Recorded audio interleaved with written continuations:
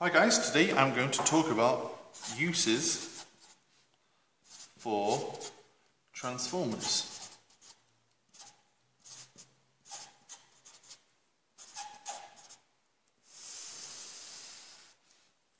Now, in a previous video, I talked about transformers, how they're made, what they're made up of, and how to calculate whether a transformer is a step up or step down transformer.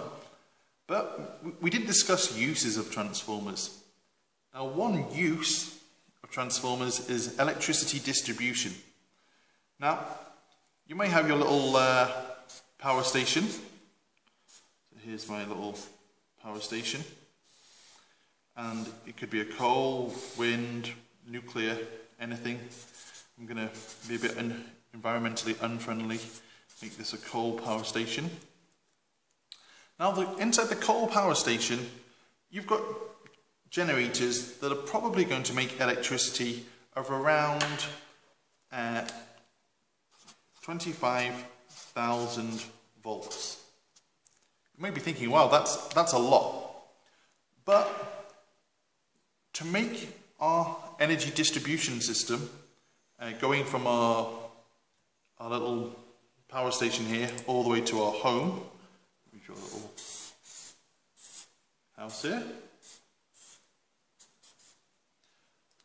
to make it more efficient, what we're going to do, we are going to step up the electricity on the power line using a step-up transformer here. We are then going to step down when we get to our little, uh, little suburban area or maybe even a factory or a farm. Now, you might be thinking 250,000 volts is a lot, but it really isn't. Because when we get to the distribution stage, we use a step-up transformer. It's probably going to step this power up to something like 400,000 uh, volts. So we've got our step up transformer here. So our little power cable, oh, let me use a different colour. And I'm going to draw a step down transformer here. So we've got our power cables going from our, our little factory here. We're going to step up the voltage.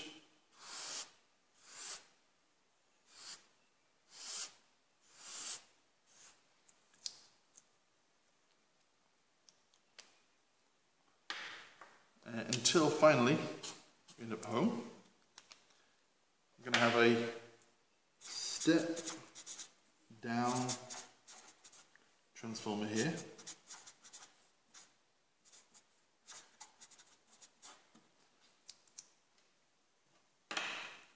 So we've got 25,000 volts coming out. Our step-up transformer is going to take our electricity up to something like maybe 400,000 volts. Now the reason why you have such a high uh, step up is because by stepping up the voltage in a transformer, what you are doing is reducing the current. So although the voltage goes up, so V goes up, the current actually goes down. So the current is reduced. And let's just talk about this. We've got the formula P equals I times by V. If I increase the voltage and I want to get the same amount of power, I can actually have less current. So let me say that again.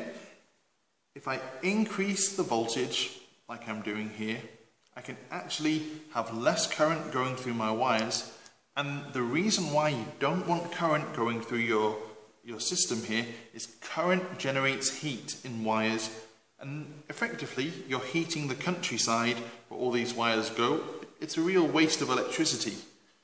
So in order to make this system more efficient, the voltage is stepped up so the current can be reduced.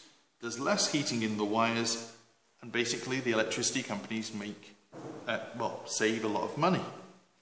But you definitely don't want something like 400,000 volts coming into your house.